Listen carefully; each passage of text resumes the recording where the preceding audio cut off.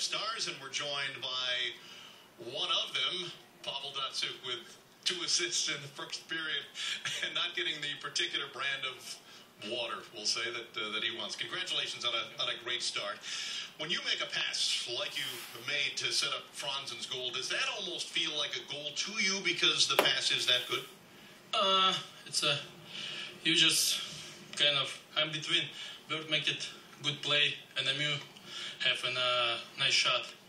But uh, maybe you don't hear on the TV because you have speaker in here. but he yellow like crazy. Look like he steals something. Was that right? Like Yeah. he's like he steals something. Yeah. Okay. Um, all right. Well, we're getting a chance to see it. There's your uh, there's your pass to uh, to Mule, and obviously you're greatly delighted when he does exactly that with it. He he both a good player and uh, make it me room and make it something play. We're keeping an eye on you and Jimmy Howard and Nicholas Lidstrom in tonight's game, which is three eyes. But aside from that, how much does your team feed off the play of three prominent members of your team? Uh, sorry. How much are you feeding off the, the play of the elite players that you have on your team, the skill players that you have on your team?